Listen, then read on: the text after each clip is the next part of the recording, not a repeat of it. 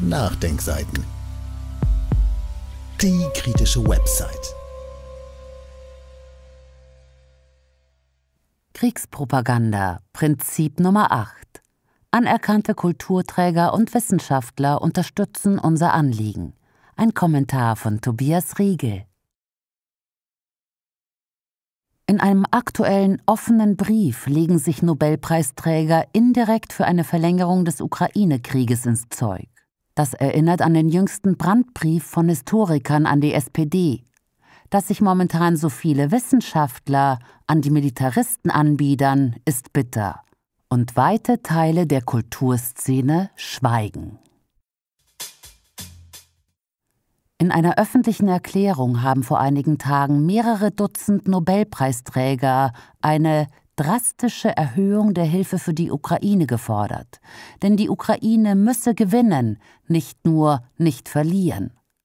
Mit dieser Forderung plädieren die Wissenschaftler indirekt für eine Verlängerung des Sterbens in einem sinnlosen Stellungskrieg denn durch unrealistische Vorbedingungen wird die Aufnahme von Verhandlungen für einen Waffenstillstand erheblich erschwert.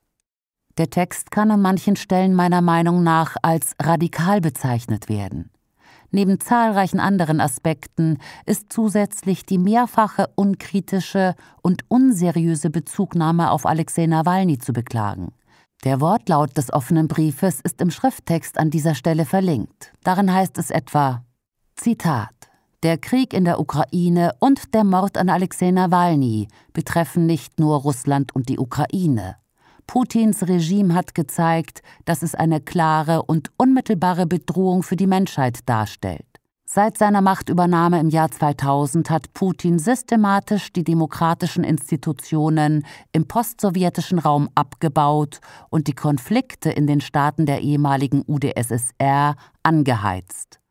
Die umfassende Aggression gegen die Ukraine und die Ermordung von Alexei Nawalny verdeutlichen die Eskalation der Bedrohung auf eine neue Stufe, da Putins Regime keine Einschränkungen mehr bei der Verletzung von Menschenrechten und internationalen Normen anerkennt. Zitat Ende.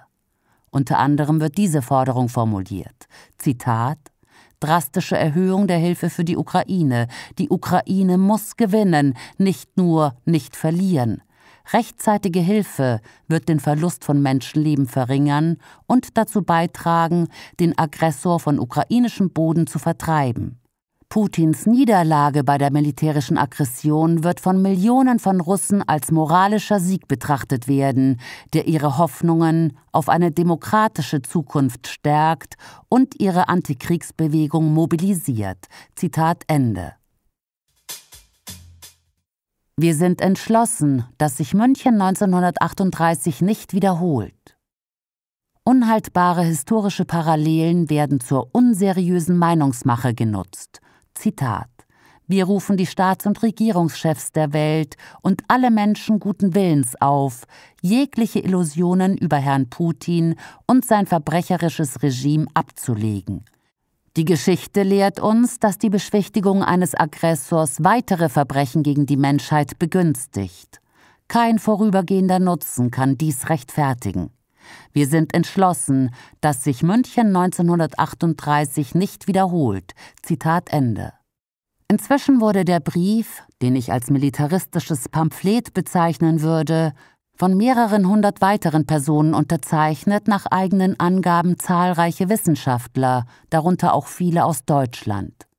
Auf den offenen Brief der Nobelpreisträger hatte auch bereits Christian Müller auf Global Bridge kritisch hingewiesen. In seinem im Schrifttext verlinkten Artikel fragt er, Wer startet einen ähnlich prominenten Aufruf, doch endlich Verhandlungen aufzunehmen, um mindestens einen Waffenstillstand zu erreichen, statt für nichts und wieder nichts weitere Hunderttausende von Soldaten und weitere Tausende von Zivilisten in den Tod zu schicken?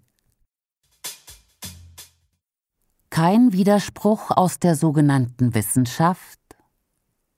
Der Brief erinnert, auch in seiner historischen Unseriösität, an den Brandbrief von Historikern an die SPD vor einigen Tagen. Wir haben hier darüber berichtet. Die Kombination der beiden Briefe aus der Wissenschaft sowie zusätzlich das weitgehende Schweigen der Kulturszene zur Militarisierung erinnern wiederum an einen der Punkte aus den von Anne Morelli 2001 formulierten zehn Prinzipien der Kriegspropaganda, nämlich an Punkt Nummer 8, bei dem die jeweiligen Kriegspropagandisten sich darauf berufen, dass anerkannte Kulturträger und Wissenschaftler ihr zerstörerisches Anliegen unterstützen würden. Diese Behauptung kann nur glaubhaft verbreitet werden, wenn es, wie momentan, keinen hörbaren Widerspruch aus der sogenannten Wissenschaft gegen offene Briefe wie den hier thematisierten gibt. Ein solcher Widerspruch wäre jetzt also dringend notwendig. Quellenangaben und weiterführende Verlinkungen finden Sie auf www.nachdenkseiten.de oder im Beschreibungstext unter dem YouTube-Podcast.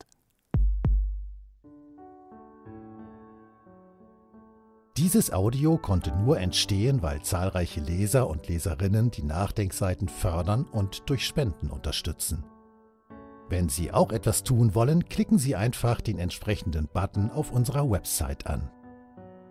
Übrigens, Sie können uns auch bei iTunes, SoundCloud und YouTube hören und wenn Sie mögen, gerne unseren Kanal abonnieren und eine positive Bewertung für uns abgeben.